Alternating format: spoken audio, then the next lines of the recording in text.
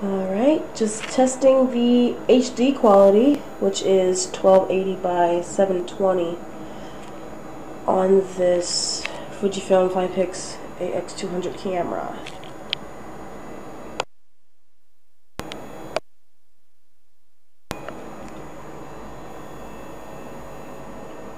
I'm to see how it'll play on YouTube since I can't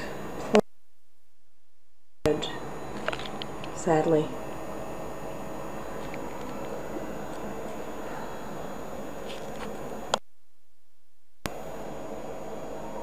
That's right, Backstreet.